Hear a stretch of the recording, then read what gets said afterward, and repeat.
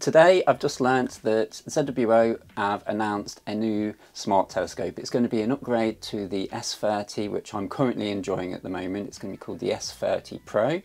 It's a bit of a curveball for me because I thought they were going to do an S50 Pro next in all honesty, but the S30 is extremely good. I've been very impressed with it. So any upgrade to that could be amazing for, for like wide field shots of nebulae in particular I think its strongest suit is personally and uh, the new specs do kind of lend themselves to that and sort of wider fields of views because they're they're upgrading from the Sony IMX 662 Starvis 2 chip to the Sony IMX 585 chip, which is considerably bigger. We're going from a, a, a 2K sensor to a 4K sensor with a much larger, sort of four times the area, but at the same 2.9 micron pixel pitch so the resolution is going to remain the same for the S30 Pro as it does the S30 which is around 4 arc seconds. Now that's not particularly fine resolution, but when you're zoomed out effectively looking at a wider field of view,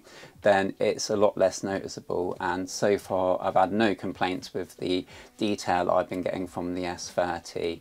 Now the upgraded larger area that this 585 sensor is going to give is going to zoom out even further, so making that resolution deficit even less noticeable. So I think it's a, a, real win for them to put that sensor in there and a good move.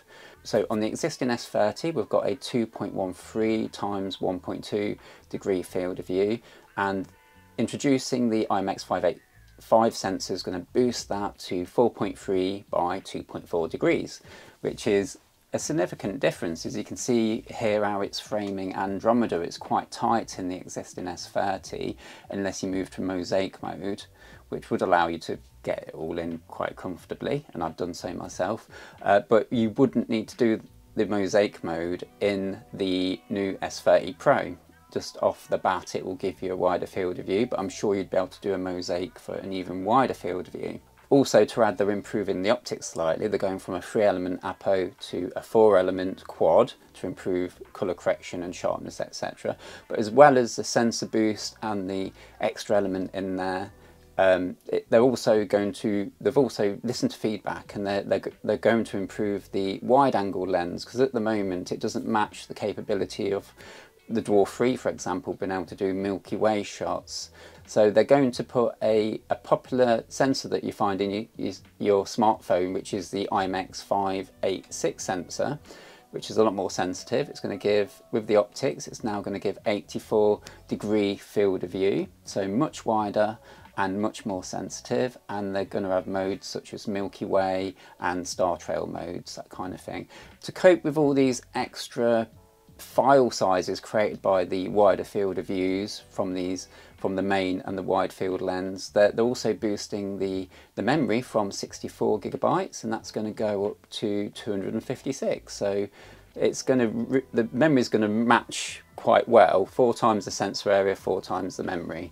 So it's quite a big upgrade and pre they, they announced that the pre-orders would be available from June and um, if uh, if they don't feel if ZWO don't feel generous enough to send me one out to review, I will be pre-ordering one because I've been so impressed with the S30 so far.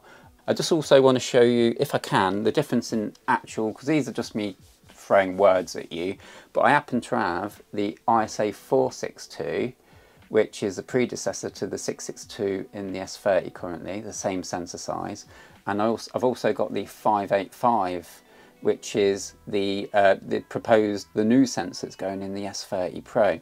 So I just want to, if I can capture it on camera, I want to show you the, the actual physical sensor size difference.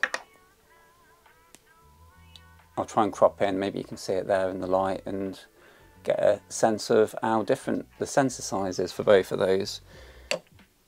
Anyway, I just want to thank my channel members and my patrons for all the support you give. And if you like this video, give it a thumbs up, consider subscribing. Or my Patreon would be even better if you want to consider that, that'd be fabulous. Otherwise, I'll hope to see some of you on the next video. Bye for now.